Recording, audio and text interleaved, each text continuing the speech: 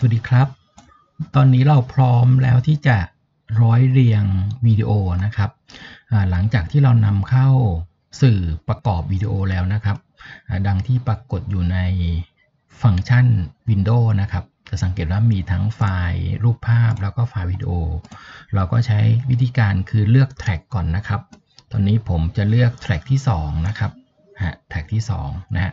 จากนั้นก็นำรูปภาพนะครับหรือวิดีโอนะครับมาวางไว้ในไทม์ไลน์ของ track 2นะครับโดยการคลิกเมาส์ที่อ่าไฟล์รูปที่ต้องการนะครับ แล้วก็ลากมาวาง จะสังเกตว่าจะเกิดเป็นกรอบสีแดงนะครับจุดเริ่มต้นก็คือเส้นสีแดงที่อยู่ซ้ายสุด ซึ่งมี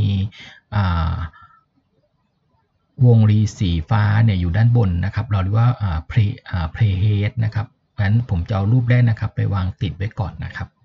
นะเพื่อที่จะให้เป็นวินาทีที่1นนะครับนะสามารถที่จะยืดขยายเวลาของการแสดงผลภาพนี้ได้นะครับ ว่าต้องการที่จะให้ต้องการที่จะให้แสดงกี่นาทีกี่วินาทีนะครับยืดหดอย่างนี้นะครับผมฮะหลังจากยืดหดเรียบร้อยแล้วนะครับ เราสามารถนำชิ้นงานที่2นะครับมาวางต่อได้นะครับ แล้วก็ วางไว้ให้ใกล้ ๆ กันนะครับ ชิดกันเลยนะครับอันนี้ก็เช่นเดียวกันนะครับ ต้องการให้โชว์นานๆก็ขยายนะครับ หรือว่าปรับลดนะครับฮะชิ้นงานที่ 3 ต่อนะครับฮะชิ้นงานที่4นะครับ ชิ้นงานที่ 5 ก็วางซ้อนๆไปเรื่อยๆได้เลยนะครับผม ทีนี้ผมต้องการจะสลับย้ายตำแหน่งนะครับ ผมก็ดึงชิ้นงานที่วางแล้วออกไปก่อนนะครับ แล้วก็นำชิ้นงานล่าสุดนะครับ ไปแทนที่นะครับอ่าดึงกลับนะครับ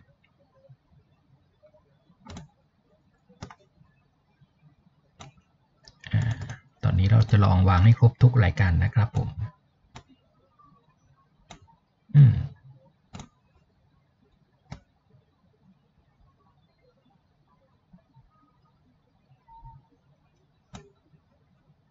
ลบออกได้นะครับ คลิกขวา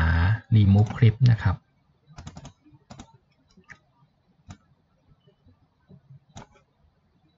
ขอไปนะครับระวางใหม่นะครับ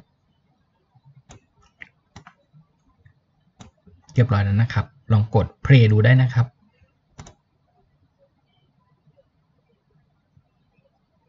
ครับ ตอนนี้ก็กำลังจะผ่านครึ่งทางของชิ้นงานที่ 1 แล้วนะครับ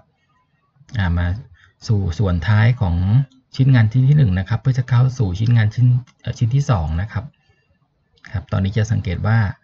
วิดีโอรันแล้วนะครับ เราสามารถเอาเมาส์ไปชี้ที่ตัว playhead นะครับ แล้วก็สามารถเลื่อนดูได้นะครับ